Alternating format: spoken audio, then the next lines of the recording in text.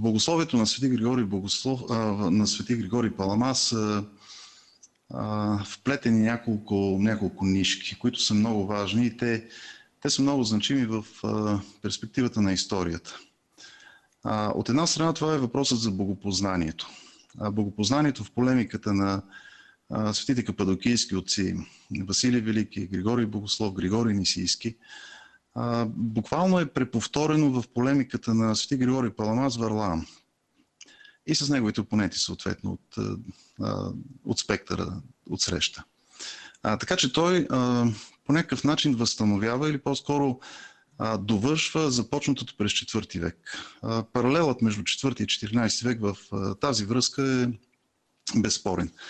А, другият паралел е между богословието на 6 Вселенски събор, на Свети Максим изповедник преди това, и това, което Свети Григорий прави по отношение на учението за енергиите и учението за а, възможността Бог да бъде познаван. А, тук имаме отново едно продължение. Даже не съм аз човека, който го казва за първи път, но мнозина виждат в богословието на Свети Григорий Палама буквално актуализация, актуализиране на това, което се е случило на 6-я Вселенски събор. Превеждането му на, на езика на а, така, в а, завършека на така наречената византийска епоха. Така че мога да предположа, това, което прави Свети Григорий Палама е буквално да обобщи или да сумира, да, да го даде в един а, съобразен а, а, мисловен център или мисловен възел, а, вплитането на, на всички тези нишки, които идват от а, традицията и от историята на църквата.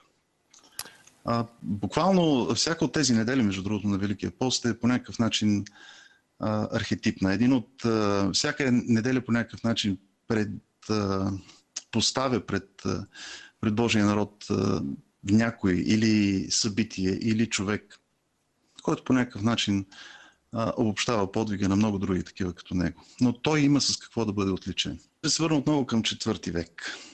Полемиката на Свети Василий Велики, на Свети Григорий Богослов, изобщо на този кръг от църковните отци по това време, е била с хора, които са а, твърдели че Бог може да бъде познаван в такава степен, в каквато човек познава себе си. И дори в още по-голяма степен, отколкото можем да кажем каквото и да било за себе си. Тоест, ние го познаваме а, безрезервно, ние го познаваме в а, пълнотата на неговата същност. И на това твърдение а, кападокийските отци противопоставят една, една много ясна граница. Да, ние познаваме кога, а, кога Бог действа, ние познаваме неговите действия, ние познаваме неговите имена, защото всяко от имената по някакъв начин отразява това, което ние усещаме за него. А ние усещаме това, което идва при нас като действие, като енергия. Но ние не познаваме нещата в същността им. Или по-скоро ние не познаваме Бога в Неговата същност, защото тази същност е отвъд всяка човешка рационална представа, каквато може да имаме от емпиричния свят. Тоест, в Бога има нещо, което познаваме и нещо, което не познаваме.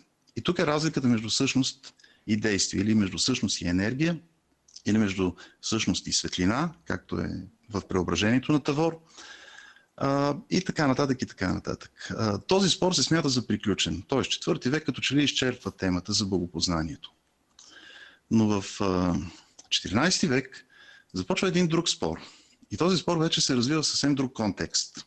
Спорът е за филиокве противниците, един от противниците, или по-скоро човекът, който по-късно ще стане противник на Свети Григорий Палама, участва в а, диалога между византийските, между румейските и латинските богослови а, от а, страната на Константинопол и казва, вижте, няма смисъл да спорим, защото в Бога нищо не може да бъде познато.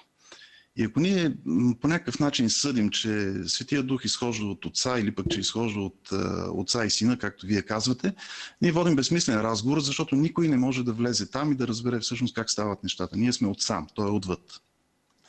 И в този смисъл е една абсолютна непознаваемост на Бога, в която не можем да кажем каквото и да било категорично.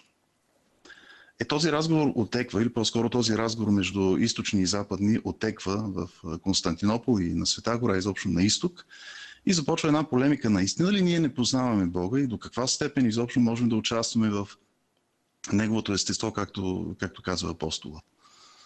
И отново се връщат отците към онзи спор от четвърти век, в който я има разликата, която вече споменах. Разлика между природа и енергия, разлика между същност и действие. И тогава вече Свети Григорий се намесва в спора не по свое желание. Той е буквално молен да се включи в този спор, той е избрал съвсем друго поприще, съвсем друг начин на живот, но се вижда принуден да дойде или по-скоро да се включи и да повтори това, което Свети Василий Велики и Григорий Богослов и, и, Григорий Нисийски са казвали, че всъщност ние знаем за Бога това, което Той открива или по-скоро ние можем да осезаваме Неговото действие, но не можем да го познаваме в същността Му. И в този смисъл, ако, ако човек изобщо се стреми да участва в Бога, ако иска да има нещо общо между него и Твореца, а, тогава все трябва да има нещо, за което човек да се хване. Все трябва да има нещо, в което човек да се участва. И ако у Бога има такова действие, а от човека също има действие, чрез което той проявява себе си и, се, и прави себе си достъпен, тогава между тези две действия може да има съдействие или синергия, както е съответно в гръцки язик. И това съдействие именно е основата. То е а, тази възможност за човека перспектива, в която той може да общува с Бога.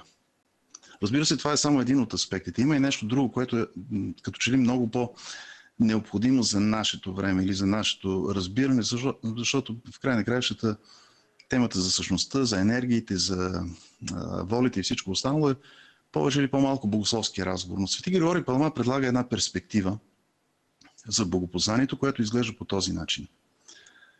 А, за да тръгнем към познаване на Бога, ние трябва да тръгнем от практиката.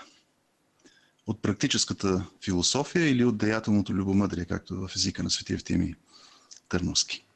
А практическата философия означава да знаем как да се прекръстим, да знаем как да кажем молитвата си, да знаем като влезем в църква какво правим, да знаем кога да благодарим и всичко останало, което засяга а, така нареченото очистване на сърцето. Всички тези дребни нещица, които са важни и всъщност без тях не може. И едва след това започва периода на теорията или на осмисленето, или на съзерцанието на това, което на практика вършим.